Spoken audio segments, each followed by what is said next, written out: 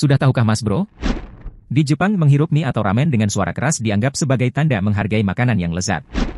Di Perancis, menaruh roti di atas meja dianggap tidak sopan, karena roti dianggap harus diletakkan di sisi piring. Di Selandia Baru, ada air terjun yang mengalir ke atas. Kuda Nil memiliki tiga kelopak mata untuk melindungi mata dari debu saat berenang. Pulau Kepulauan Faru memiliki lebih banyak domba daripada penduduknya. Di Swedia, bahasa resmi adalah bahasa Swedia, tetapi hampir semua orang juga fasih berbahasa Inggris. Terdapat kota di Turki yang berada di dua benua, Eropa dan Asia, yakni Istanbul. Ada lebih banyak patung singa di Singapura daripada singa hidup.